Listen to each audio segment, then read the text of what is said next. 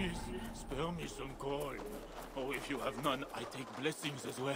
One little coin buys a fat block of cheese, but one little blessing might ensure I won't freeze. Oh, God, please, have mercy on me, dear Father above.